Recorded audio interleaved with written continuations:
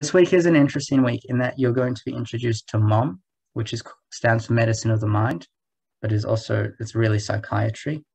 Anatomy is this is stuff that's relevant even now. We just had some tests on some of these questions, so that's stuff you're going to want to keep in mind. The biochemistry is really the gene technology is quite um, unusual. It's like cloning and stuff. It's not too high yield, and then you'll be introduced to HEP, which will be fun. Uh, hold on, give me one more second. Yeah, we're good. Okay. So you've, you've been introduced to quite a lot this week and it's picking up, but the metabolism will start to slow down, which might be good, might not be. Um, we've changed our system in which we're going to put these keys in the top right to help with the yield. Um, we're going to go back and do that because everyone was unavailable this week. We kind of didn't prioritize doing that, but we will do that for so it's useful for you in revision. If you have any questions at all, write them in the chat and I'll try to look at them while I present. I might not know the answers, but I'll do my best. So we're going to start with anatomy, which is my favorite of this week. There are four types of tissues. These tissues include epithelium, connective tissue, muscle tissue, and nervous tissue. Today, we're going to begin with epithelium, Throughout your lectures, we'll be going through all of these tissues. Epithelium is unique in that it has its origin in all three germ layers, which you don't need to understand yet, so don't worry about that. These are the four primary tissues. This is something you need to remember, and we just had a second year quiz and they asked us this question, so you should know this. Epithelium, connective, muscle, nerves.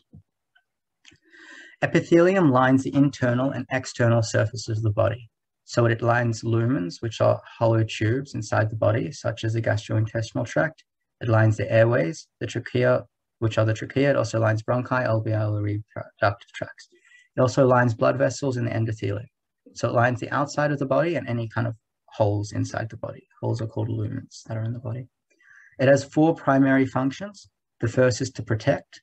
So it provides a physical barrier that um, protects the body from debris and harmful agents. Lumen that are frequently damaged are often lined with something called squamous epithelium, which are small cells that rapid that are quite labile, which means they rapidly regenerate and um, proliferate quite quickly. Quickly, and these protect viscera and underlying structures. Epithelium can also secrete substances such as sweat or mucus, and these are important both in, um, in immunology and protecting people from pathogens, as well as just physically from debris and toxins. Epithelium are also important in absorbing substances. So your cells in your small intestine facilitate absorption of nutrients, as well as there's filtration in the kidneys, which filters blood. Finally, epithelium are also really useful for transport. They act as junctions that regulate what flows between cells and inside of cells and what can cross membranes and what can't. And often these are combined with regulatory um, regulatory components, components to control what comes in and out. They have five characteristics that are useful to remember. Firstly, there's very little space between the cells. This supports structural and, and anatomical um, integrity of these structures so that um, normal physiological functioning can occur. They're strongly attached to each other between intercellular junctions. Intercellular junctions are probably the hardest part of this topic, which we'll get to in a bit. They're oriented or polarized, which means their bottom adheres to a basement membrane, and they have an apical surface, which is a top that faces into the lumen. And they're all orientated like this, so they can have correct functioning. They're avascular, which is interesting and might be counterintuitive. There are not blood vessels that directly supply epithelium, rather nutrients and oxygen diffuses in through capillaries through to the um, to the cells. We'll go in that in a second. And the fifth is they sit on a basement membrane which is a kind of fibrous structure that um, is important for both the integrity, it's important for keeping little space between, and it's important in the diagnostic of cancer, diagnosis of cancer. So these are intercellular junctions. There's a few types. The first type is called a tight junction. Think of this as a watertight seal. If cells have tight junctions, water cannot pass through. They're completely fused together. There are gap junctions, which have little um, proteins that facilitate the transport of ions in and out. They um, can transmit electrical signal signals and are important. You have adherens, which are connected by the side, which connects the cytoskeleton of two adjacent cells to each other. and helps keep little space between them and provides integrity. Desmosomes are quite similar to adherens, except they use um, they use intermediate filaments, and hemidesmosomes are desmosomes, but they're on the basal surface. So another uh, important way to think of this is you can think of it as in their kind of altitude on the cell determines what they are. So tight junctions will always be the highest. They'll prevent water going through. Then you'll have adherens, gap junctions, desmosomes. There's a couple of tables. This is a tables I got from Wheater, and it kind of explains in detail what each of them do. All you really need to know, tight junctions, watertight, water doesn't go through. Zonular adherens connect cytoskeleton together. It's very cohesive. The cell moves together. Desmosomes um, use intermediate filaments, and they also link cytoskeletons together. Hemidesmosomes are desmosomes, but on the basal surface. And probably the most high yield here, gap junctions facilitate the passage of ions and small molecules between cells, facilitating intracellular signaling. Um, this is kind of my, I wrote this out as well. Um, you can use either of these for your notes to look, read through and understand. But this is essentially what we've said. So now we're going to start with the characteristics of each cell. So epithelium have strong attachment between cells. And in order to facilitate their function, they have certain specializations on their apical surface. So apical surface is the surface that faces a lumen. So in the small intestine, you have something called microvilli, which are hair-like protrusions of the cytoskeleton, and they increase the surface area to enhance absorption in the small intestine. You have cilia that are larger than microvilli by about 10 micrometers in length, and they function to support movement. Um, in the trachea, they um, so they kind of flush the mucus out with the pathogens and debris to your throat where you can swallow it. Also, you can cough it out. So cilia use movement. They're also in ovaries. They are used to move the eggs. And in stereo and stereo, there's also stereocilia, which are unfortunately named. They're not cilia. They're long motile microvilli actin strands, and they really have sensory functions. Um, you need you should know microvilli and cilia. Stereocilia are less um, high yield. Orientated and polarized. This is kind of straightforward. The apical surface faces the lumen, where all the proteins and the um, so transport can occur through the proteins. Basal surface, surface attaches to a basement membrane, which is this rigid fibrous membrane that um, anchors the cells in place. And it's important to have polarization so cells are in the correct direction. In pathology, sometimes this can be disturbed. Avascular, there is no blood supply to epithelium. Blood vessels cannot cross the basement membrane to supply the epithelium.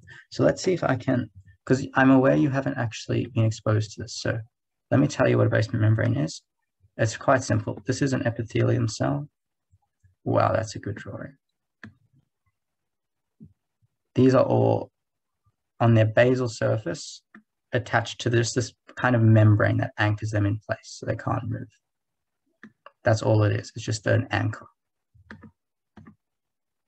And so the way that epithelium acquires nutrients and gets rid of carbon dioxide and waste is through diffusion into capillaries and underlying connective tissue. Um, this is the basement membrane we've been talking about. Basement membranes are, are um, it's not important what mesenchymal cells are. They're made up of type 4 collagen and laminin. Again, quite low yield. These are just kind of fiber. Um, they have proteoglycan heparin sulfate. All that means is it's sticky, and that means they stick together. They have a high affinity for the cell basal surface. Um, a basement membrane is porous so that the uh, nutrients can diffuse through. And its function is all well, we've talked about cell adhesion, orientation, it blinds the plasma membrane, but most important is for you to know, and this will be assessed most likely, a normal epithelial cell will never cross the basal lamina. It will never go, I want to say, let's annotate, it will never go beyond this fibrous surface. So you can see here there's basement membranes that are anchoring these cells. If a cell does not, isn't anchored by it, it's, it's most likely cancerous. There's definitely pathology. All you need to understand about basement membranes is they're a thin mesh of connective tissue that anchors epithelial cells. Epithelial cells should not cross the basement membrane. Now we're going to talk about classification of epithelial cells now that you kind of have an idea of what they are, what their structure is. And a good thing with about epithelium, unlike the other connective tissues, are quite, it's quite intuitive. You see your skin and you know what it does. So epithelium can be classified in two ways. either according to its layers. Simple means it is one layer of cells. Stratified means it's several layers stacked on top of each other. And it's also classified by its shape. Squamous is like a thin, like they talk about a cross section of an egg-like shape. Cuboidal is a cube, is a cube. Columnar looks like a column. And there's some exceptions that we'll talk about later. Simple squamous epithelium. So as you can see here in the picture on your right, you have, this is squamous from like it's an axial section, I think. And there's just one layer of cells. They're very small. If you look at them head on, if you look at the left picture, they just look like kind of sheets with this nucleus. They're a thin layer. The nucleus is elongated and dense, and the nucleus um, mirrors the geometry of the shape. These are important because they line blood vessels that allow diffusion to occur because there's very low resistance from these structures. So it's easy for things to diffuse through them and they allow the passage of small molecules, gases, nutrients, etc. And they're also quite permeable, which is involved in immunology. If you have an infection, you you might have done this in bio. I didn't do bio, but I think you would have done this in bio. You, um, your endothelium cells can become quite leaky and the reason why it's important that these are simple squamous epithelium is it allows leukocytes, which are white blood cells, to migrate.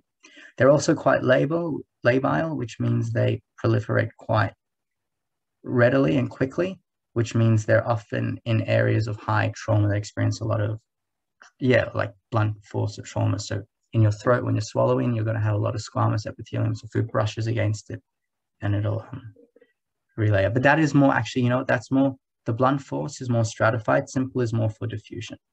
We'll get to the blunt force later. Um, I have my pen on and I can't get rid of it.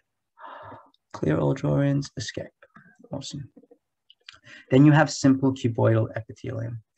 This looks like a cube, unlike the other one, which kind of look like a disc.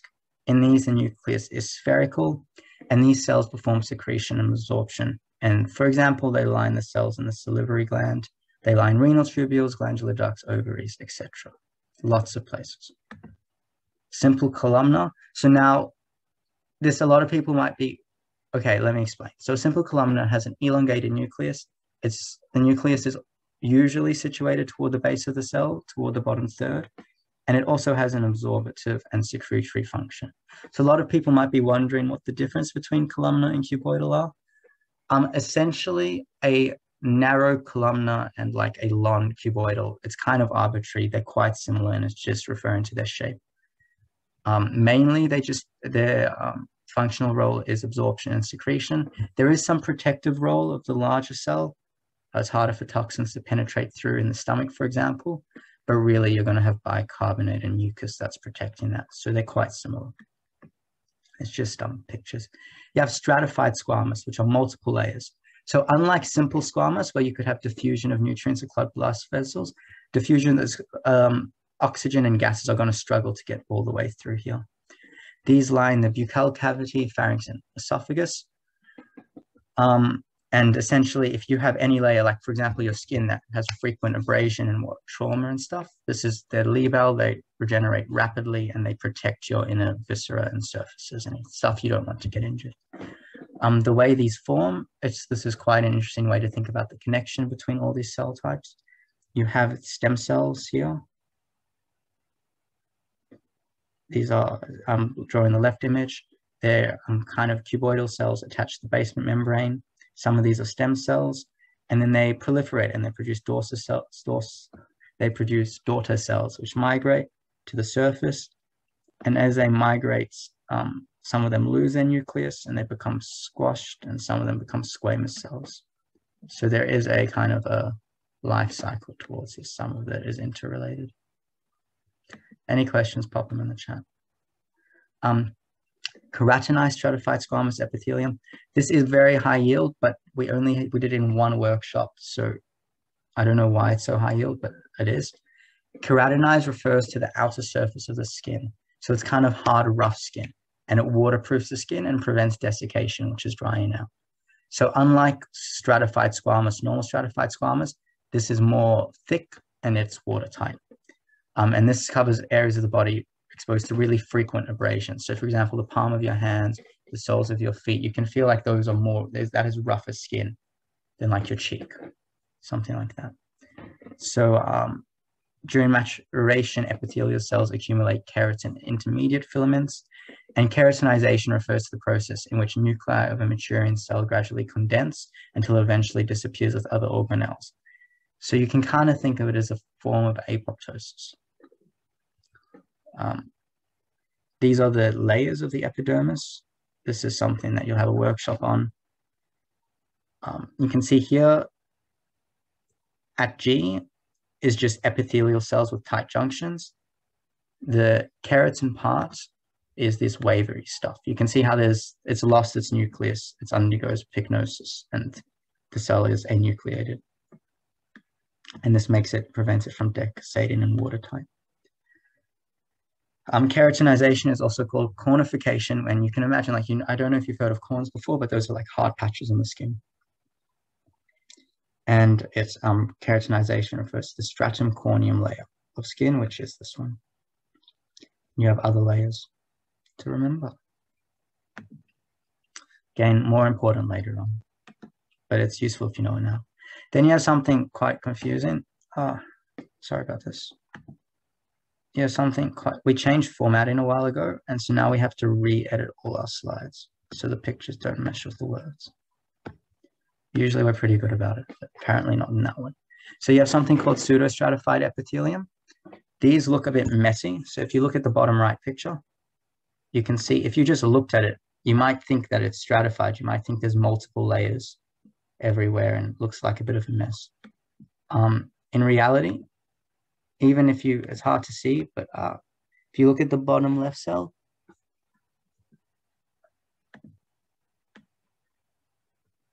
um, you can see this looks like a bit of a mess. The nuclei are at different levels.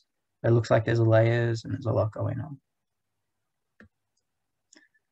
So pseudostratified refer to a kind of, they're often columnar cells and they like are stacked against each other. That's quite disorganized. However, they do all sit on a basement membrane. So each cell of a pseudostratified, while it looks disorganized, you can tell it sits there, each cell sits on a basement membrane. And the nuclei have on varying levels.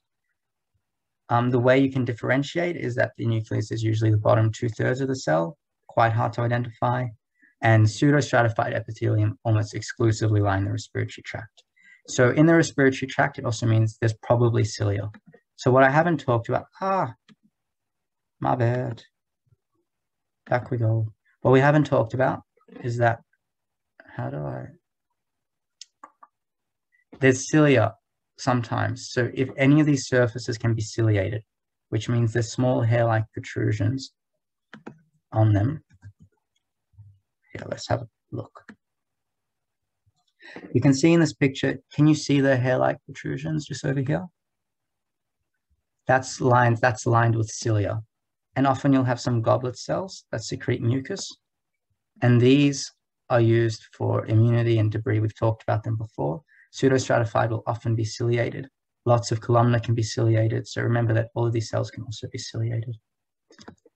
We're almost finished epithelium and then we're up to, and the other stuff is like four slides per topic. It's quite quick. I don't think the others wanted to do much work. No, okay.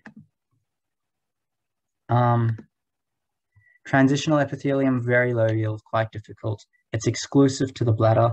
It's waterproof. It's necessary because urine is toxic. And it's expansile and contractile, which is really interesting. So it can distend and become swell and become waterproof, or it can um, relax and that's um, prevents it kind of pre- assists the flow of kind of urine through the bladder. It kind of it's like a pumping function. Um, they're very low yield, incredibly low yield. Metaplasia, this is just a side note at the end. Sometimes if there's irritation to a cell type, you can have a change of morphology. So if you have, um, for example, pseudostratified epithelium in the respiratory tract, if they're exposed to a lot of toxins and pathogens, they might um, be needing to rapidly proliferate to protect the underlying viscera. So you might start to make squamous cells. So there's quite an interrelated relationship between them. Okay, now we're going to move quite quickly. These are quite smaller topics. We're doing biochemistry and we're going to start with gene technology, which is a bit obscure, but we'll do our best. If you have any questions, please ask.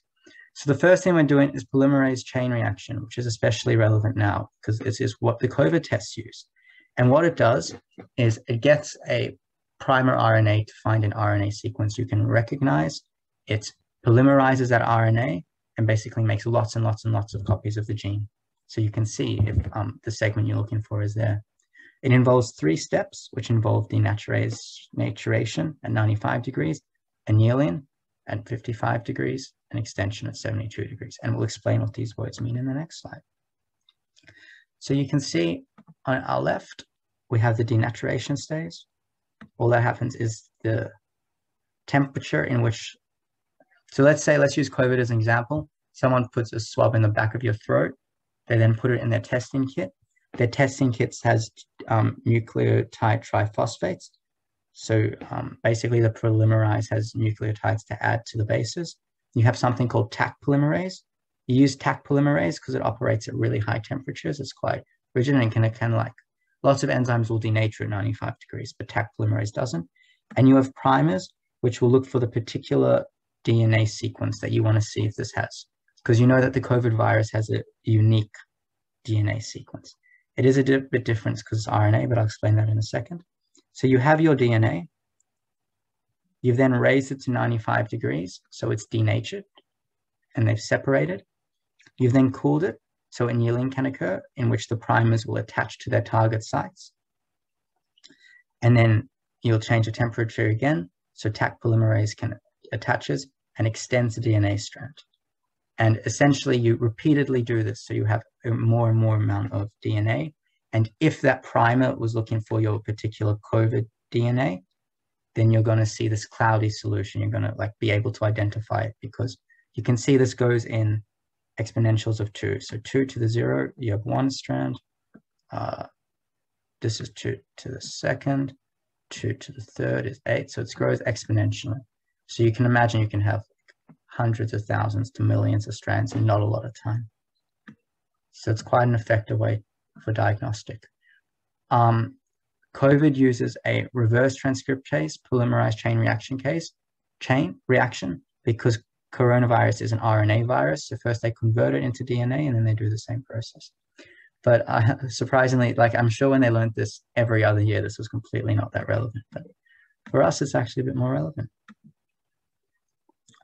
Now there's something called recombinant DNA technology, which is pretty cool. It's when you combine DNA from two different sources. So um, you can imagine like there's a lot of therapeutic application of that. So often what they'll do is they can get an egg from an animal or a mammal. They can add in a particular gene they want to and insert it into that animal's DNA um, sequence so that it uses its protein to express what you want to express. So I think they make antitrypsin that way. But how does it work? How can you separate it? Let's say you have a DNA strand. You know what's a better example what we'll use? We'll use plasmids. So I don't know if you remember, you have a bacteria, you have a nucleoid with genetic material, and it's like, it's not a nucleus, it's a nucleoid, it's kind of free floating. Then some bacteria have evolved things called plasmids, which are essentially used for antibiotic resistance. This is high yield, you need to know all this. So often what you can do is you can get a restriction enzyme, which will read a code in the plasmid, for example, and it'll cut open, let's change colors, it'll cut open the sequence. So you have two um, sticky strands. And what you do is you insert another DNA code for something you want to express. In that, you stick it together, use ligase to stick it, and then that bacteria will start to make that protein. Um, it needs to have an origin criteria for this vector. Vector is what you're using to carry out the function. It needs to have an origin of replication, which you can remember is where it begins the polymerization. Um, and you have the recognition sites for restriction enzymes. What's really important is what you do when you do this is you'll get a bunch of E. coli, for example. You'll put them in a test tube. You'll put your restriction enzymes and the genetic material you want. And how do you know if the plasmid has correctly um, kind of, it's been successful, the ligase has been successful and it has this new genetic material? How do you know it just hasn't not worked and you're not making the protein? What they do in the plasmid is as well as inserting the genetic material you want to produce the protein, they put in an antibiotic resistance strain. So that if the bacteria has correctly kind of absorbed the plasmid, so bacteria can absorb, let's say that's all plasmids, that's a bacteria. Bacteria can absorb plasmids at higher temperatures. Let's say it's accurately absorbed a plasmid that has correctly received the protein and the antibiotic resistance. You take all these um, bacteria, you put them on a petri dish, you give it antibiotics, everything that has collected the genetic material you want to transcribe, as well as the antibiotic resistance, will still survive. Everything else will not survive the antibiotics. That's important. I hope that makes sense. If it doesn't, I can further explain. This is a picture of what we've been talking about. Um, the picture on your left is looking at your restriction enzymes and your sticky strands. The restriction enzyme has made these strands where you're going to attach your um, the DNA fragment you want to join. So this is, sorry, let's be more clear. Um, this is the DNA you want, you've separated it. This is the um, plasmid you've separated and you're going to attach them into each other. Um, you isolate a gene that you want from the gene donor. Let's say you want to produce insulin. You get the insulin producing gene. You've cut open the plasmid with restriction enzymes. You've shaked your beaker um, so that the plasmids will go into the bacteria. They ligase the protein making gene into the plasmid. It's gone into your bacteria. It has antibiotic resistance, so it survived the antibiotics, and now it's going to make all your insulin that you need.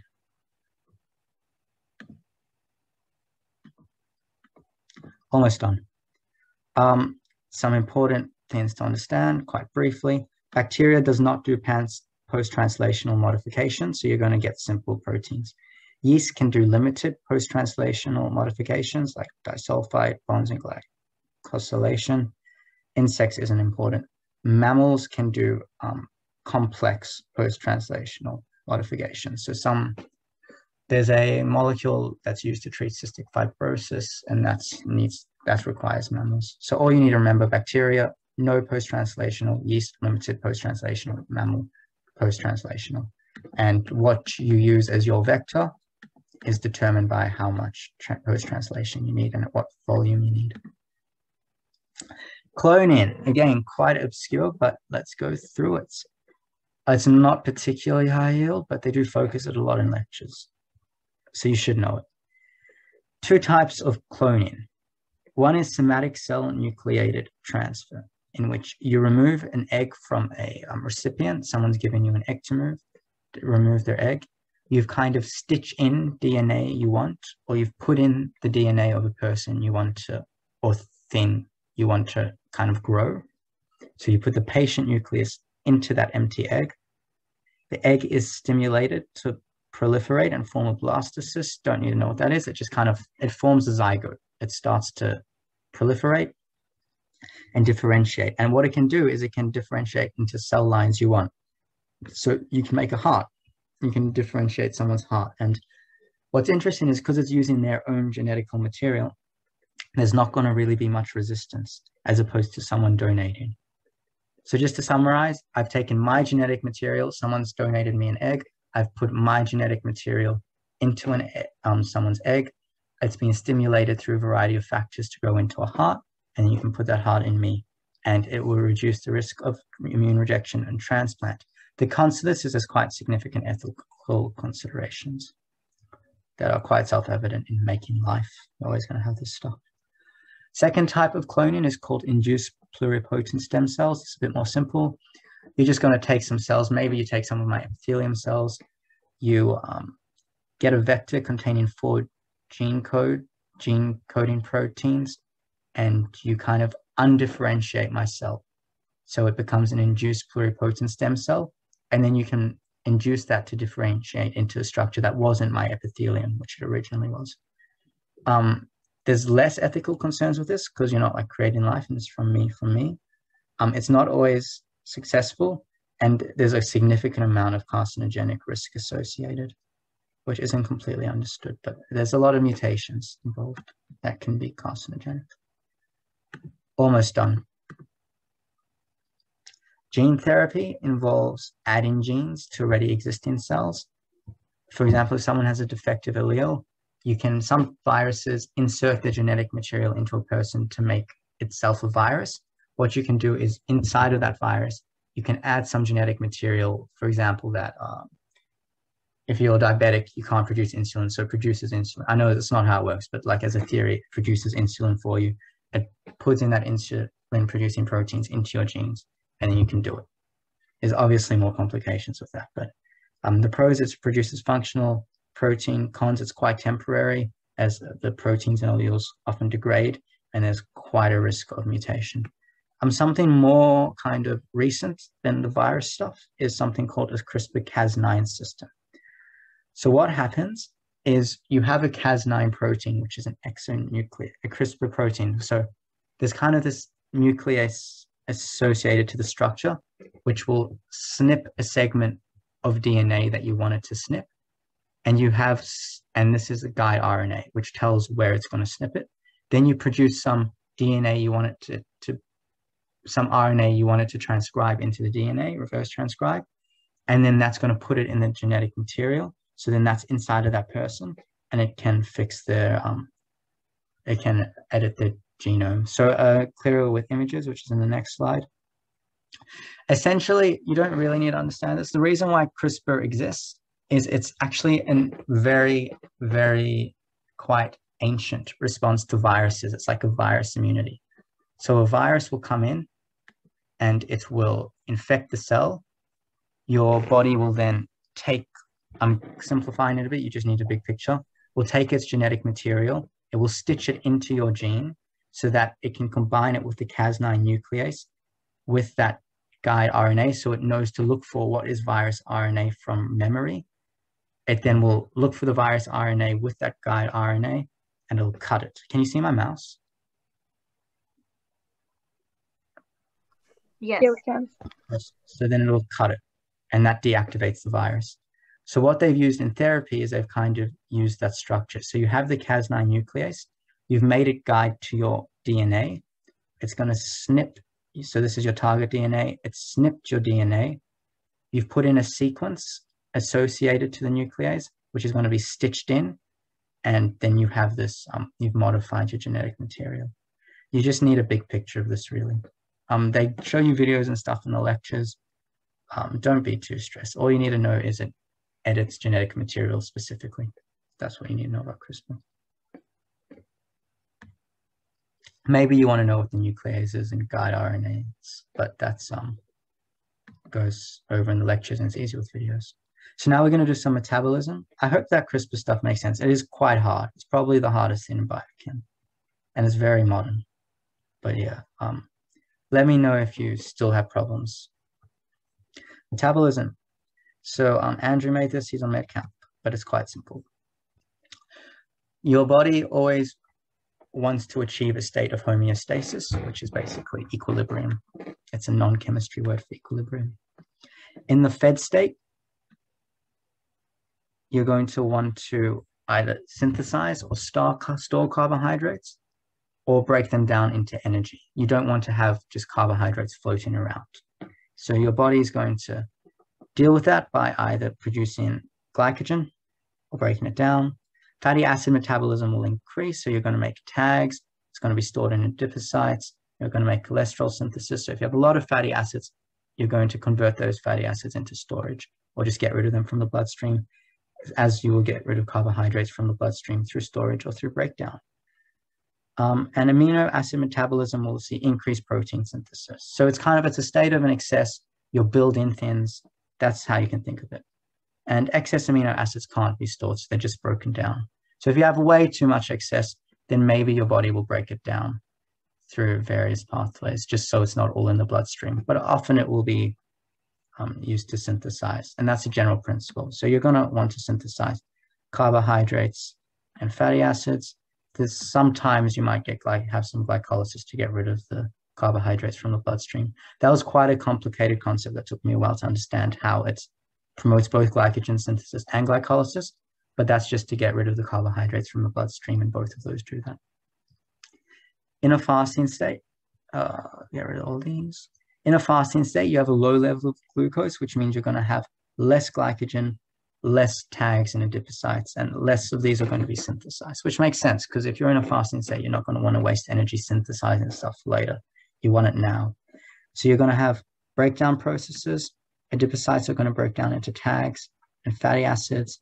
Skeletal muscle is going to break down proteins into amino acids, which can be through gluconeogenesis, can be converted into carbohydrates. Um, liver will start making ketones, which are more efficient than glucose, but in excess can be toxic and lead to acidosis. And this, these can be used by the brain, for example, quite efficient.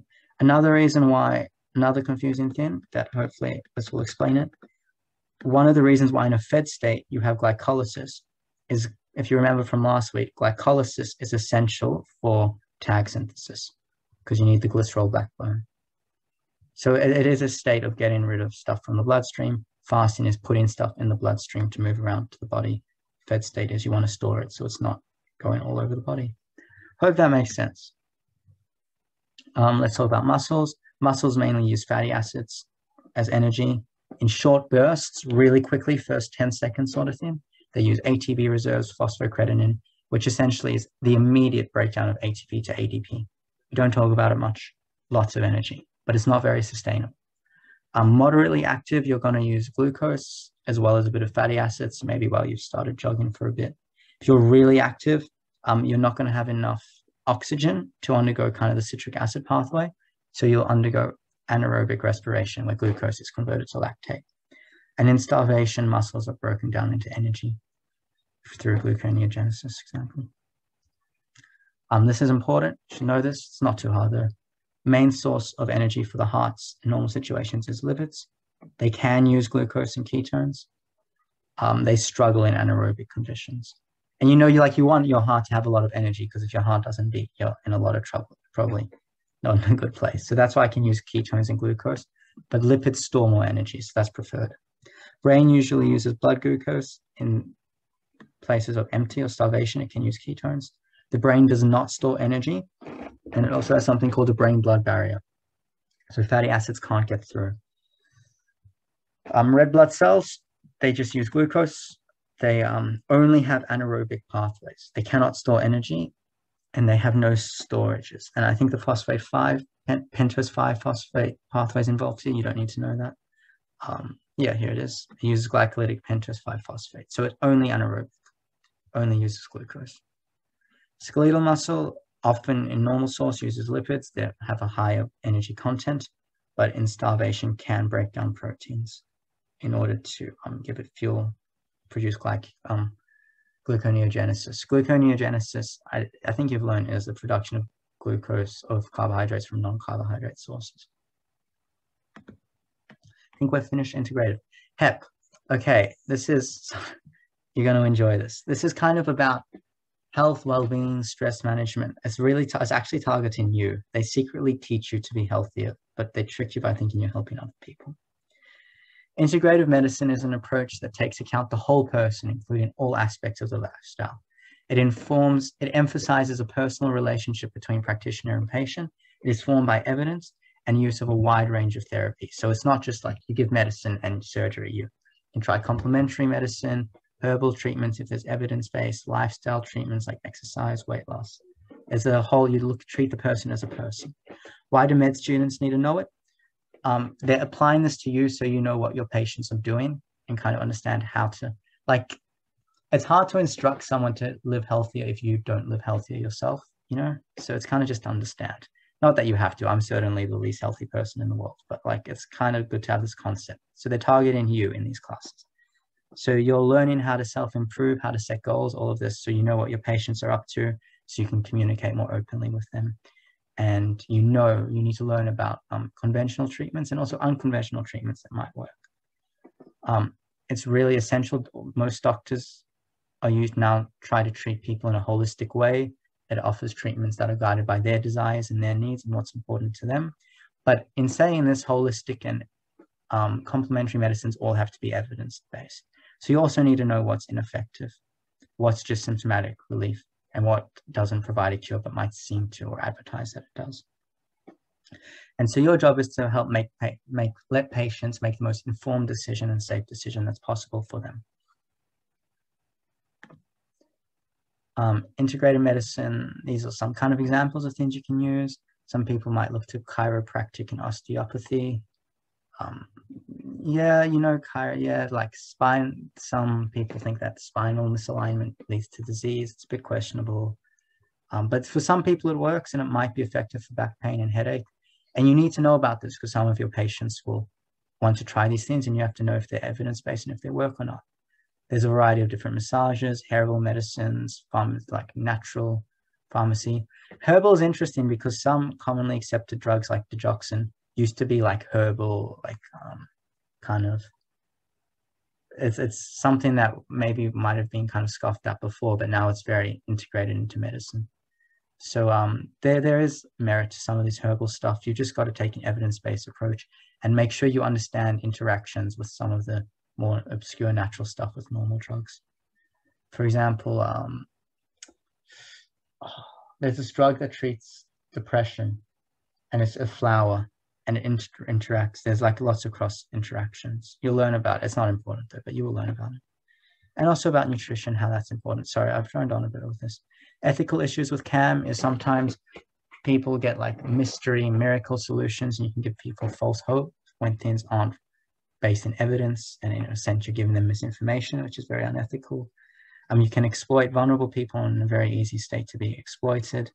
And it may also delay the use of medicine that is work or is conventional. And there are maybe potential dangers and side effects that aren't known if it's poorly researched. And often practitioners of it, of like chiro maybe, or some of this more complementary alternative medicine, it's hard to know like the sufficient training. It's hard to find people who are like completely trained. We're almost done. Behavior change and lifestyle. They found in mid-final year, 20%, only 8% of medical students had burnout. And you're not going to perform be perform very well if you have burnout. So it's important to care about yourself and look after yourself. Make sure you're in a mentally good place. Easier said than done. Um, you have to increase the importance of lifestyle factors in promoting longevity. So like exercise, eating well. And you can see that the 10 top 10 most causes of death are very influenced by lifestyle, like um, weight, diet, sleep, etc. Um, these are some acronyms you're going to want to learn. So you might have already learned essence and history taken. Education is like, it's not teaching, like, it's not what school you went to. some people think, what, um, what's your education? Oh, I went to wherever, Xavier or whatever. I didn't go to Xavier. I don't know why I thought of that. But it's, um, education is more about knowing yourself, motivation, attitudes, habits that enable yourself. Um, sorry, that didn't make sense. Um, education is more about knowing yourself so you know like what's going to work for you, what do you want, and only through an understanding of your motivation and desires can you acquire therapy that's going to help you in the best way possible. It's also about managing stress, if you're spiritual or not, and how that helps depression, exercise, nutrition, connected with family, friends, environment. Um, healthcare, this is important to know, BASK, behavior, attitude, skills, knowledge. This is about um, education. So behavior, you need to know what people do, what attitudes they have, what skills can they have to kind of incorporate new styles of behavior, and what do they understand about new styles of behavior. And often an intervention in behavior change will have to target these things. So what are people doing already? What do they believe? Their abilities, their efficacy, what they understand. Almost done. This is the French dude model um, by Prochaska. Um, it's basically the stages of behavior change. So, and essentially it's saying people are only going to change their minds or change their behavior if they really want to. So they need to, they're in pre-contemplation is when they kind of, they don't want to change. They're not concerned about it. They're not thinking about it. Contemplation, they're weighing up pros and cons. Should they? A doctor can have, you can have more of an active role there. You're going to be pretty useless in pre-contemplation um, you're going to have some sort of determination or preparation where you're like thinking, okay, this is what I'm going to do. If I fail, this is how I'm going to do it. If I'm feeling sad, I'm going to have these techniques. Then you act on it.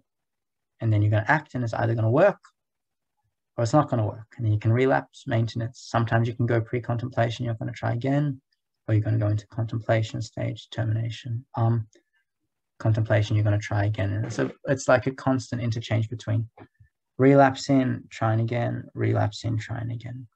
Criticism of this is it doesn't like people are more complex than this. They don't necessarily go in stages, but yeah, it's an important examinable concept.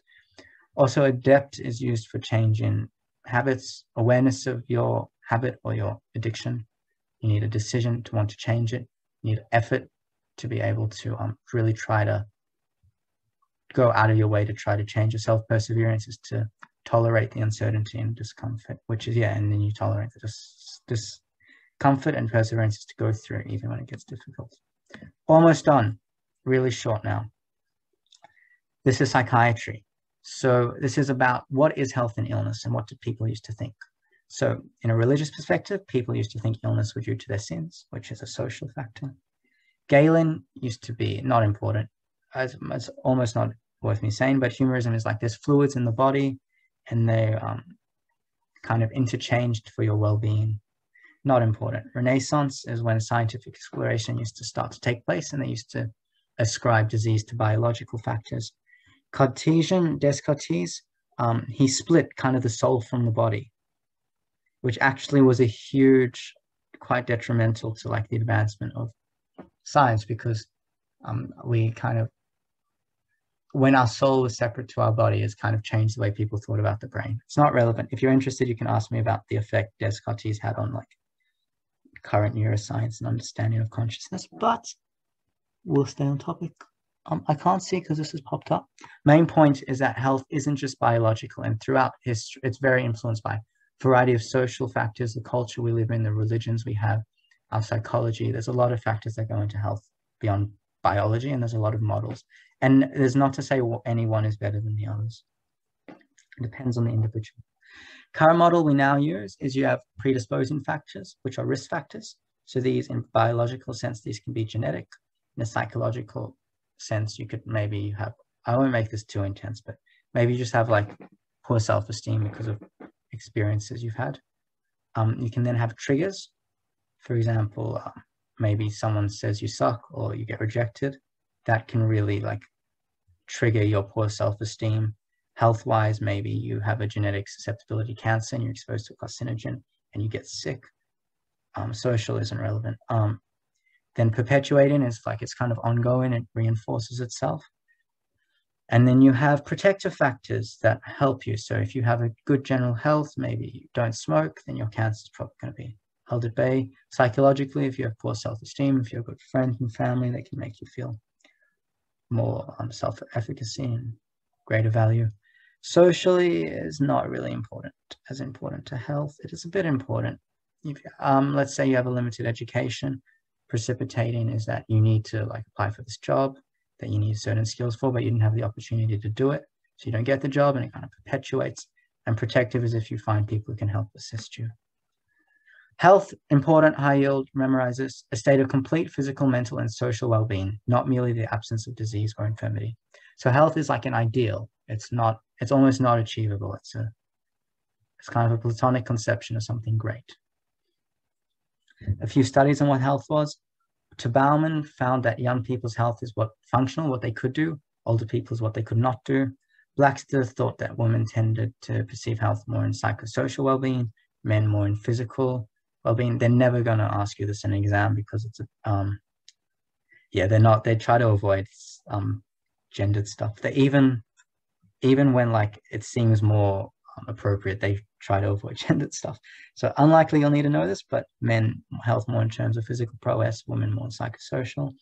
Australian perception only 56% thought they had excellent health 15% thought they had fair or poor. And it um this varies with age. So the older you get, um, obviously the more limited people are in their health. Um, in another study, in Hunter study, most people said ideal health is impossible. So like the World Health Organization is an ideal. And they had eight attributes, are physical, psychological, intellectual, spiritual, occupational, social, environmental. Uh, you actually, they did ask a question on this once. Um, you can probably common sense it, but there's a lot of factors that go into health that are physical and basically think of it environment in mind. And all of these either fall into the either environment, which is um, environment, um, social, occupational, or in the mind, spiritual. um, psychological, intellectual. Almost done. I think two more slides, one more slide. Impact of culture on health and illness. Culture is the integrated patterns of thoughts, communications, customs, beliefs, values, and institutions associated with racial, ethnic, or linguistic groups with religious, spiritual, biological, geographic, social characteristics. So essentially, it's the thought patterns you inherit that inform your values, how you believe, how you communicate, how you talk to people. It's dynamic, it changes over someone's lifestyle, it changes depending on who they're with, it changes as they age, it changes on who you ask. It's quite, even though culture is quite a wide set, concept, its implementation and understanding is quite personal. Um, how does it impact health? Belief systems. So in um, the West, we have a separation of mind and body because of Descartes, essentially. And um, we see our physical as kind of removed from our mental state, whereas there's now a more holistic thing to say they're more interconnected. Um, it might be not socially acceptable for some people to seek help. They might feel that a society might want them to be stoic and to last with help and community and family structures. In some um, communities, particularly in indigenous communities, particularly in um, uh, other, yeah, in some countries, they kind of prioritize the family as more important maybe than the individual, or the family is equally as important, and they should be involved in the role of the healthcare and treatment. And you might even have an obligation to look for your family, whereas in other, maybe more Western, it's more individual based you're more um going to go to the doctor by yourself. They'll treat you by yourself, more likely. That's all. Any questions? I hope that